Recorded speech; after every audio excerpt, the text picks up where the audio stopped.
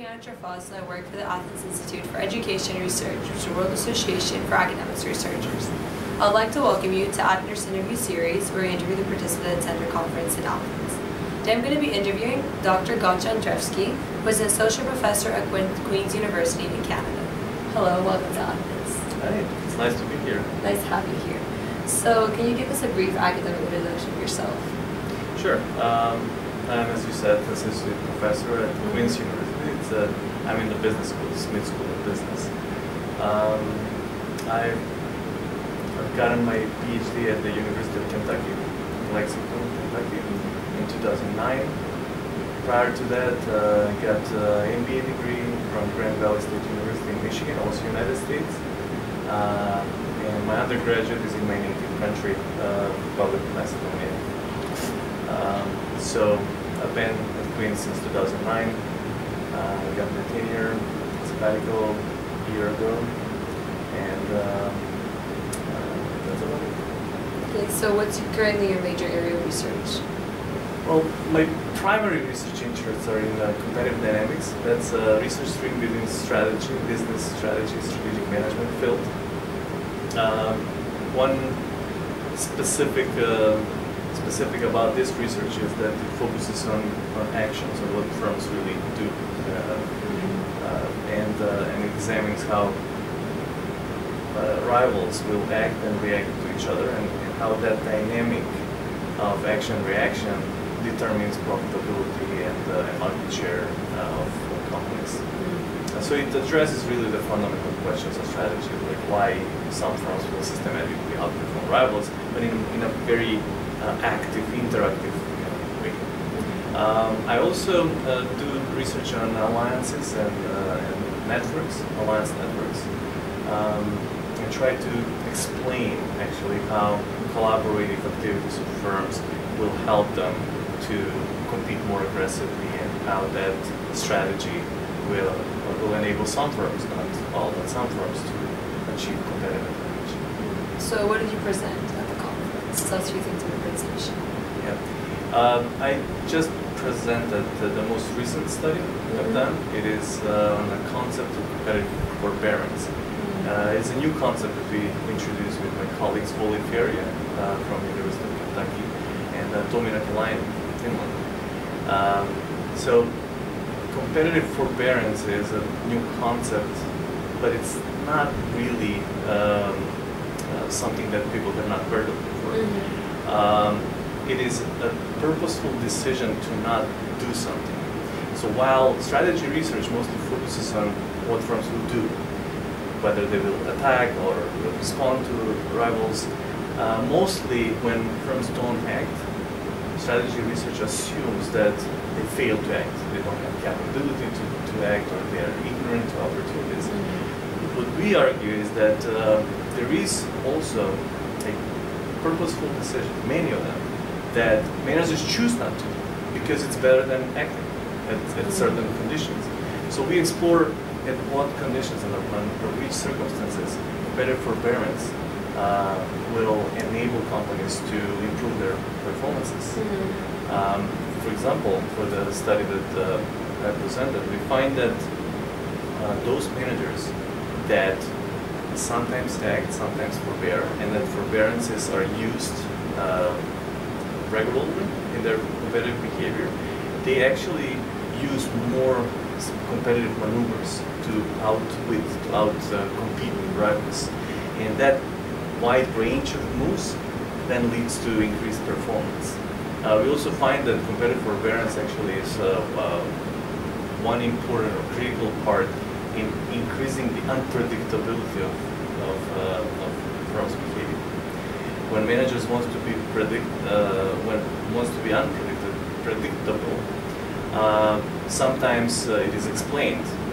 As previous research mostly focuses on when I surprise you, when I do something and, and it's surprising to you. But what we add to that is that actually I surprise you also when you expect me to do something and I choose not to.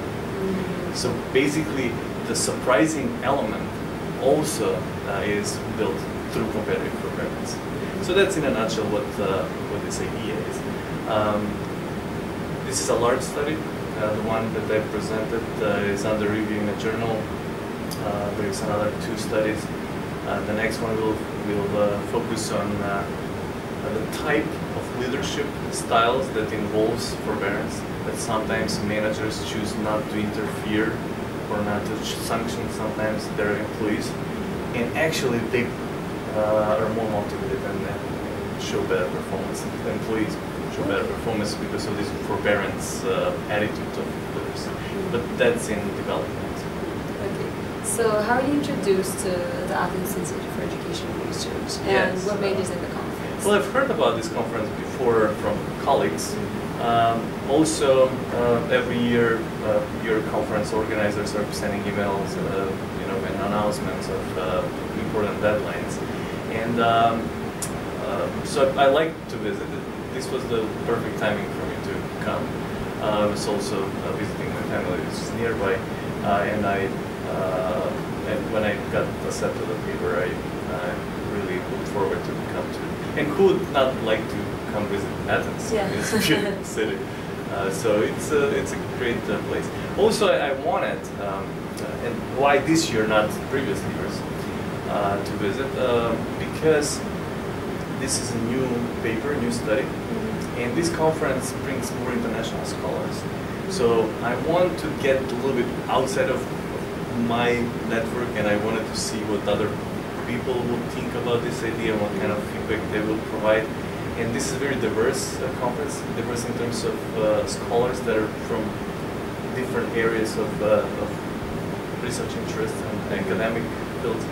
Uh, so they they have a completely different view of, of this uh, this concept, and maybe it's applicable to their fields. So I, I just wanted to see uh, how what, what reactions they will have on, competitive forbearance. So, can you tell us a few things about the status of the higher educational system in Canada? And maybe since you're from uh, Macedonia, maybe you can compare also.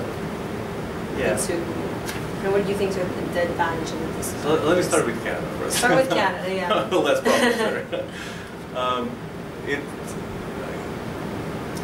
in Canada, really, at, at least at the university where I work, um, we have research funding that um, we can't really complain. I mean, um, there are external and internal sources of, uh, of funding. Um, the external ones are supported by government in Canada. So we really have all the necessary resources to do research at, at high level. Uh, all supported by the school too, because we have some internal funds. Uh, for some of them, for the research-focused faculty, we have uh, funding that is provided by the school that is in addition to our salary, and also kind of a research salary.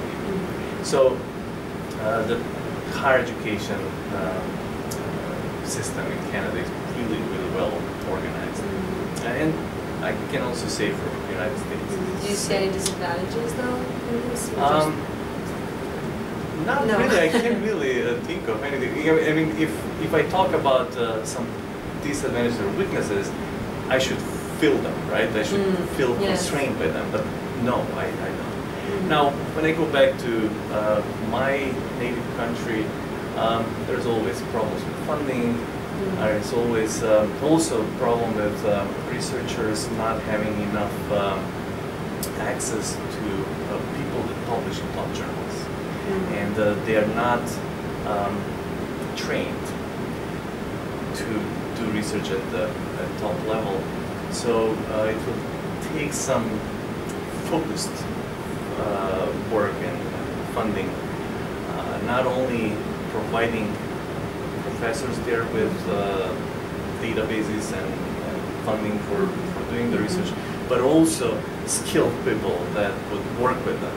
Because um, in order to publish in top journals, you need to learn from people that have published. Because there is no book or textbook that you can go and learn and how to publish. It is Mhm. working with somebody and getting instant feedback, uh, continuous uh, feedback that can help you uh, publish, uh, learn how to publish, how to create new knowledge. At the end um, of the day, for us as professors, it is important to teach obviously our students and to uh, inspire new generations, but it's also important to create new knowledge. Mm-hmm. And the creation of new knowledge is really publishing. So if you don't learn how to publish, how to create and generate new ideas, and how to um, make uh, support them with uh, empirical analysis, um, then you're kind of limited as a professor. So, so I always encourage them that you know you try as much as you can to help. Okay, well, thank you very much. Thank you for inviting